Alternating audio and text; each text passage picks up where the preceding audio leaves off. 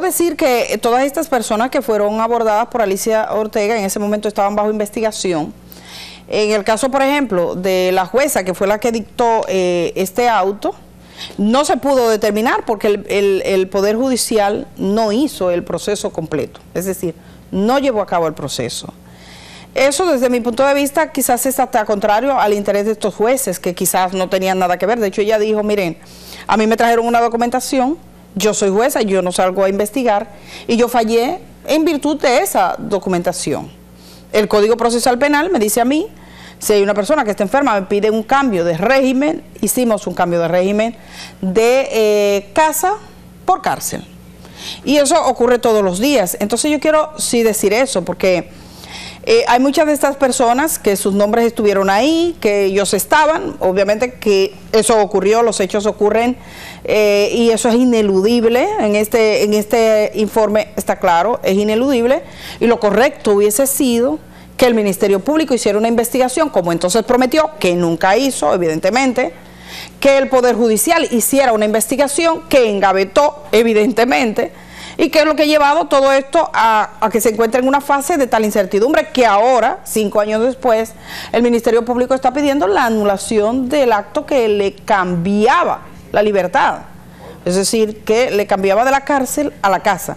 A eso se refirió también la magistrada en este video de archivo estamos hablando de un video grabado para la ocasión cuando era un escándalo increíble, pero que nunca fue solucionado en el año 2017. Continuamos justo en ese momento. Código Procesal Penal enumera las condiciones especiales a tomar en consideración a la hora de dictaminar un régimen especial, entre las cuales se encuentra una enfermedad terminal o un estado de demencia sobreviniente con posterioridad a la comisión de la infracción. En estos casos, dice el Código, el tribunal puede decidir que el cumplimiento de la pena se verifique parcial o totalmente en el domicilio del imputado, en un centro de salud mental, geriátrico, o clínico. ¿Qué yo verifico? Que los certificados estén correctos, como lo hice en este caso. Primero me chequeo el, el del doctor de la Unión Médica, César Augusto, y el del INACI.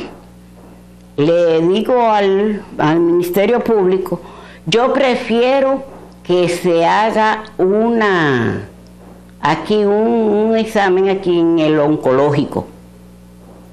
Yo le digo a él, dice, claro, claro que sí.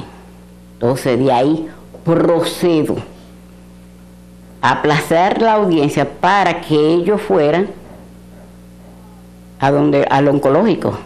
Pero vamos por parte, antes de llegar al oncológico.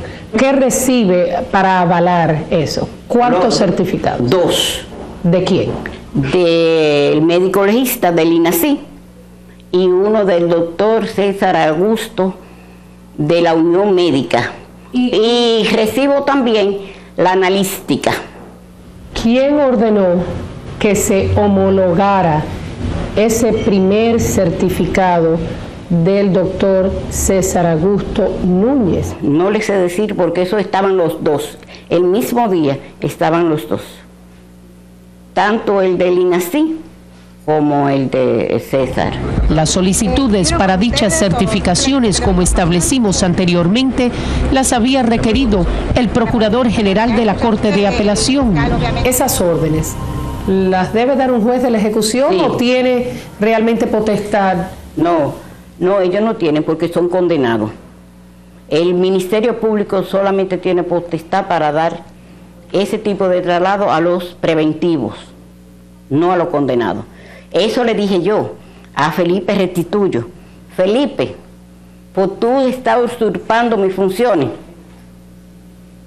Porque ahí yo veo como tres o cuatro permisos que tú le diste al interno. ¿Cuándo usted vio esos permisos? el día de la audiencia, porque es un, expediente voluminoso y uno lo va revisando. ¿Y usted no lo cuestionó en ese momento a él? O sea, ¿no cuestionó esos permisos? No lo cuestioné. Porque ¿Por usted sabe, porque los centros, igual que la cárcel, pertenecen a la Procuraduría. Y a veces ellos se toman atribuciones. Es más, va un juez de ejecución y le dice una cosa, y le va, por ejemplo, Felipe y le dice otra, y ellos hacen lo que Felipe le diga, porque ellos, ellos dependen de Procuraduría, no de Suprema. Yo creo que se ha entendido un poco cómo fue todo ese proceso, falta mucho más, si ustedes tienen más interés, bueno, pues eh, eh, Alicia tiene ese programa completo, yo solo he pasado una parte y le agradezco que lo haya permitido, a ustedes le doy las gracias por la atención que nos prestan, decirles que ese caso entonces vuelve a los tribunales el día 13 de julio. Por hoy es todo, mañana es otro día y aquí estaremos diciendo la cosa como es, que pasen un feliz resto del día.